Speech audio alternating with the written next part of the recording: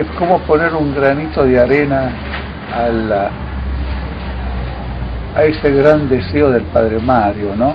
Que el deseo que en parte lo realizó en vida. Y bueno, vamos a terminar, vamos a terminar todo dentro de lo posible entre todos. Hablábamos mucho de metafísica, ¿no? Eh, se quedaba a veces cuando tenía tiempo, o sea, un tiempo muy largo mirando mi obra, la Madonna Cósmica. Y le inquietaba, le inquietaba mucho. Y discutíamos, era, era un tipo muy, muy, ¿cómo definirlo?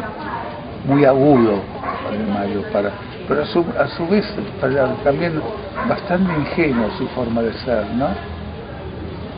A veces parecía un chico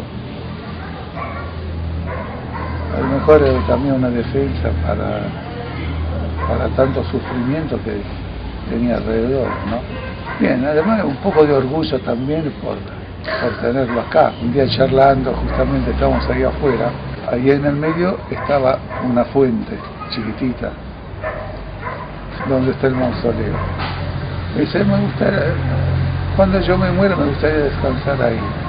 Y a mí me quedó grabado bueno, cuando se murió un día charlando con Perla, le comento eso. Y Perla dice, dice, vos sabés que a mí me dijo lo mismo también. Bueno, dale. Y Perla, bueno, como ella siempre, ¿no?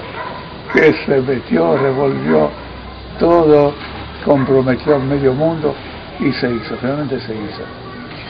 Eh, yo había hablado con el chico este, el arquitecto, y lo que quería era que se hiciera eh, una capillita donde figuraran los tres elementos eh, cósmicos, que es la pirámide, la esfera y el cuadrado, el cubo, va.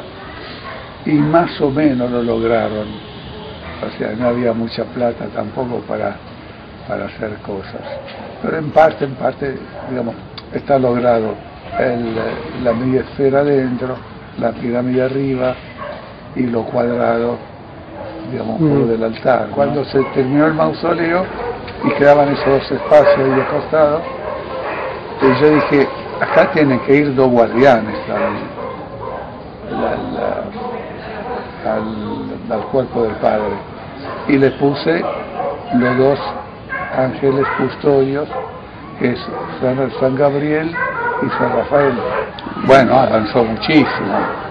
Yo pienso que que se está llevando a cabo un poco la, la idea del Padre Mario, ¿no? Dentro de lo posible, porque, bueno, vos sabés, se lucha mucho para conseguir fondos, en fin. Pero repito lo que dije antes, si todos multiplicamos esfuerzos, bueno, conseguiremos llevarlo adelante.